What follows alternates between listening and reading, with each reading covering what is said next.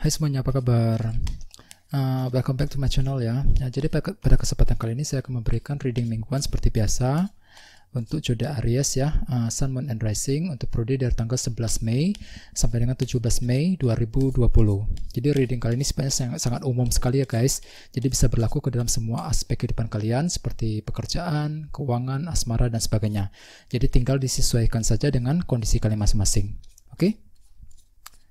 Sebentar ya, kartunya dikocok dulu seperti biasa. Sebelum dimulai, oke? Okay?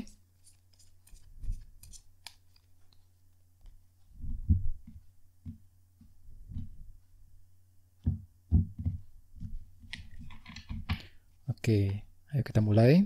Kartu yang pertama adalah, adalah The Devil, terus The Tower, 10 tongkat, Wheel of Fortune, Ace of Cups, satu cawan ya, tiga pedang, Queen of Cups, dan The Moon. Terus tema untuk kalian dalam minggu ini adalah kartu Judgment. Oke. Okay. Jadi ada bottom of deck kita punya kartu Six of Pentacles, 6 koin ya. Uh, jadi artinya mayoritas dari kalian dalam minggu ini mungkin akan mendapatkan sebuah bantuan ataupun dukungan dari orang-orang yang paling dekat dengan kamu saat ini ya. Misalnya mungkin akan mendapatkan uh, dukungan dari teman, dari keluarga ataupun dari pasangan kalian. Jadi ketika kalian lagi berada dalam uh, situasi yang sulit ataupun lagi kesusahan ya, mungkin ada orang-orang yang akan membantu kamu, mendukung kamu dalam menyelesaikan sebuah masalah rumit yang terjadi uh, dalam minggu ini ya. Jadi sarankan sekali untuk selalu berpikiran positif. Terus bawahnya ada kartu tiga tongkat jadi artinya uh, dalam minggu ini mungkin kalian akan bekerja keras untuk mencapai sebuah target dan tujuan ya. Jadi uh, dengan kombinasi kedua kartu ini bisa diartikan mungkin ada sebuah bantuan yang akan datang, yang akan kamu terima ya dan bantuan tersebut bisa kamu gunakan untuk bekerja lebih keras lagi untuk mencapai target dan tujuan kalian masing-masing ya. Di sini kalian mungkin lagi menantikan bantuan tersebut untuk minggu ini ya dengan kartu tiga tongkat ini. Oke. Okay? Terus di bawahnya ada kartu The Hangman. Uh, jadi artinya uh, beberapa dari kalian akhir-akhir ini mungkin telah menggunakan sudut pandang dan perspektif yang berbeda uh, ketika uh, melakukan sebuah uh, penilaian ataupun men untuk menarik kesimpulan dalam hidup kalian masing-masing. Ya, jadi ketika, ketika kalian mengalami sebuah masalah, di sini kalian telah menggunakan sudut pandang yang berbeda ya ketika uh, mengambil keputusan penting. Oke, okay? akhir-akhir ini. Terus bawahnya ada kartu Page of Wands juga.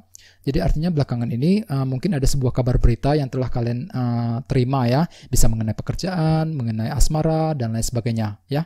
Jadi intinya dengan kartu Six of Pentacles tadi mungkin ada sebuah bantuan ataupun dukungan yang akan datang yang akan kalian terima untuk minggu ini ya. Terus uh, tema kalian dalam uh, minggu ini adalah kartu Judgment.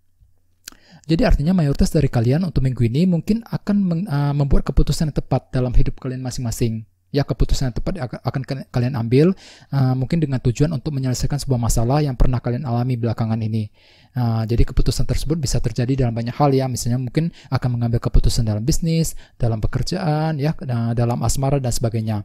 Dan dengan kartu Six of Pentacles tadi ya, 6 koin, uh, mungkin bantuan tersebut akan bisa kalian terima, akan bisa kalian gunakan untuk membuat keputusan yang tepat bisa juga mungkin ah, sebaliknya ya, di sini kalian akan membuat keputusan untuk menolong, untuk membantu seseorang. Ya mungkin ada seorang yang butuh bantuan dari kamu uh, dalam minggu ini. Sehingga dengan kartu judgment kalian akan membuat keputusan yang tepat untuk memberikan bantuan. Oke? Okay? Uh, terus di sini kita mulai dengan kartu The Tower.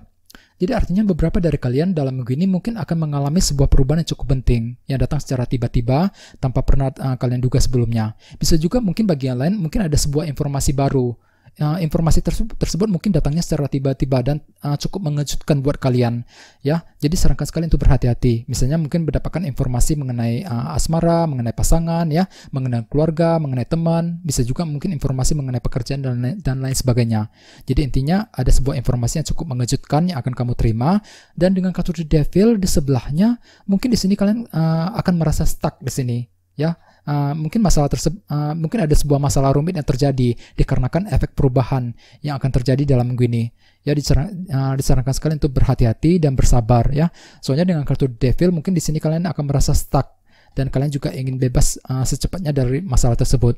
Sehingga dengan kartu judgment sebagai tema utama ya, mungkin ada sebuah keputusan tepat yang akan kalian uh, buat dalam minggu ini dengan tujuan mungkin untuk menyelesaikan uh, masalah rumit yang akan terjadi. Mungkin masalah tersebut sudah terjadi belakangan ini ya akhir-akhir ini, bisa juga mungkin uh, terjadi dalam minggu ini juga. Jadi perlu untuk berhati-hati dan bersabar ya. Misalnya mungkin uh, mengalami masalah di kantor, masalah dengan uh, pasangan, bisa juga mungkin lagi kesulitan keuangan dan sebagainya. Dikarenakan ada sebuah perubahan yang terjadi akhir-akhir uh, ini. Oke? Okay? Terus uh, di bawahnya ada kartu tiga pedang. Jadi artinya uh, beberapa dari kalian akhir-akhir ini mungkin uh, telah mengalami rasa frustasi ataupun rasa kekecewaan. Ya, misalnya mungkin lagi kecewa terhadap pasangan, kecewa dengan uh, situasi kerja, ya, bisa juga mungkin kecewa dengan kondisi kondisi keuangan dan lain sebagainya. Ini mungkin sudah terjadi di minggu-minggu sebelumnya, bisa juga dalam minggu ini ya dan dengan kartu Ace of Cups uh, di sebelahnya mungkin di sini kalian uh, akan menjalani proses healing uh, soalnya kartu ini melambangkan energi penyembuhan ya di sini uh, dalam minggu ini mungkin kalian lagi butuh healing lagi ingin uh, menyembuhkan luka hati dan rasa frustasi yang pernah kamu alami akhir-akhir ini dengan kartu tiga pedang tadi ya. Jadi bagi kalian yang pernah ter terluka ataupun uh, pernah mengalami rasa, rasa frustasi ya akhir-akhir ini disarankan untuk uh, banyak bersabar ya. Silakan gunakan kesempatan untuk healing dengan kartu Ace of Cups tadi ya. Dengan kartu Judgment sebagai tema utama mungkin uh, kalian akan mengambil keputusan yang tepat untuk menjalani proses healing tersebut ya. Mungkin di sini kalian lagi uh, bermaksud untuk move on dari sebuah masalah yang pernah kamu alami akhir-akhir ini. Ya dengan kartu Six of Pentacles tadi 6 koin mungkin ada sebuah bantuan juga du dan dukungan dari orang-orang yang paling dekat. Jadi ketika kalian lagi mengalami masalah mungkin ada orang yang akan mendukung kamu. Keluarga teman pasangan dan sebagainya ya uh, dalam minggu ini. Oke, okay? terus uh, di sebelah sini kita punya kartu Wheel of Fortune. Jadi artinya beberapa dari kalian uh, untuk minggu ini mungkin lagi fokus untuk menciptakan perubahan yang positif. Karena intinya lagi butuh perubahan positif dalam hidup kalian masing-masing. Uh, perubahan dalam keuangan, perubahan dalam pekerjaan, ya. Uh, jadi intinya kalian lagi uh, butuh sebuah perubahan. Dan dengan kartu uh, 10 tongkat di sebelahnya, mungkin di sini kalian merasa berat sekali untuk menciptakan perubahan positif tersebut dalam minggu ini ya di sini kalian merasa tertekan uh, mungkin ada sebuah uh, faktor uh, yang telah kalian alami akhir-akhir ini ya sebuah faktor uh, tekanan berat ya tekanan batin yang telah kalian alami belakangan ini sehingga dengan kartu 10 tongkat ini kalian merasa berat sekali untuk menciptakan uh, keberuntungan dan perubahan positif tersebut. Ya uh, dan dengan kartu judgment sebagai tema utama mungkin uh, ada sebuah keputusan tepat yang akan kalian buat nantinya untuk menyelesaikan tekanan berat tersebut nantinya dalam minggu ini Oke, okay? terus uh, di bawahnya ada kartu The. Jadi artinya beberapa dari kalian dalam minggu ini mungkin uh, sedang mengalami sebuah periode ketidakpastian. Ada sesuatu hal yang sedang tersembunyi, terselubung, yang tidak kamu ketahui, yang nantinya akan membuat kamu merasa bingung sekali. Bingung dalam bertindak, bingung dalam mengambil keputusan. Jadi silakan gunakan intuisi terlebih dahulu ya, uh, sebelum mengambil keputusan, baik itu dalam asmara, keputusan dalam uh, pekerjaan, dan sebagainya. Oke, okay?